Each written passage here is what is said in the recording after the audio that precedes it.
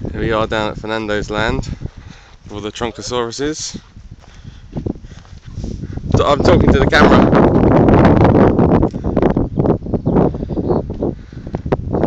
Fernan- Buenache village up there.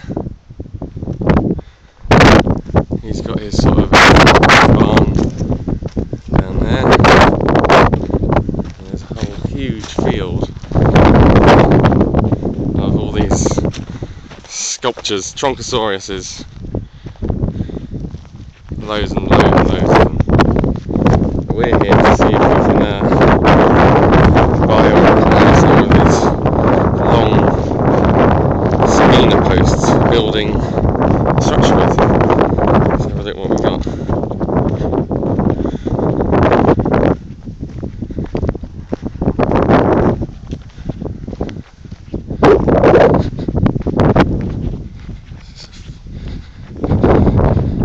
fair bit of wood here.